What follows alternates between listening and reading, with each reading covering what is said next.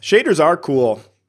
F5 Chaser, and thank you. Yeah, I'm quite inspired now to learn more shader stuff. It's a very interesting area, and I encourage you. There's a lot of good tutorials out there on this. Uh, Catlike Coding, Jasper Flick does some great text based ones. Alan Zucconi does some great text based ones, and then also Daniel Doan, who has a channel called Making Stuff Look Good in Unity. Uh, on YouTube is terrific. Does some great um, shader tutorials on there, and and does a case studies with like you know games like Overwatch and Hearthstone, looking at like how they achieve certain effects, which I find really cool and informative. So I encourage you to check out uh, all of those resources as well.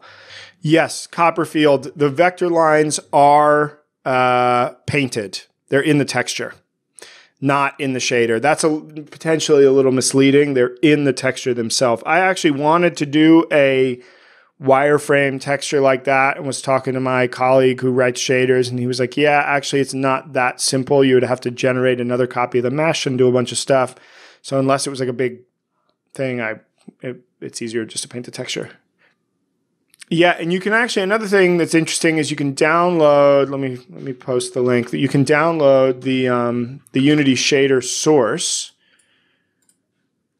here on the download archive.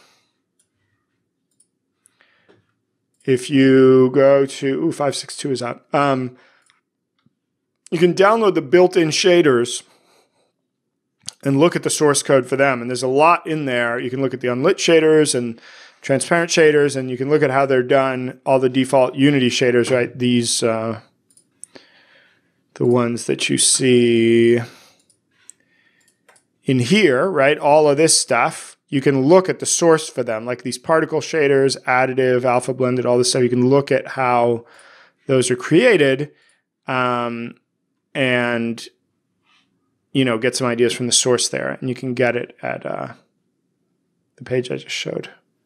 Yeah, and that's worth mentioning, right? If you guys are interested in getting into shaders more and you want to use a graphical editor, there are third party tools like Shader Forge or Amplify Shader Editor on the Unity Asset Store that are not super expensive uh, that you can use to do node based shader editing. Unity doesn't currently support that um, as a first party tool, uh, but those are options in terms of third party tools in the Asset Store that are that a lot of people use and like.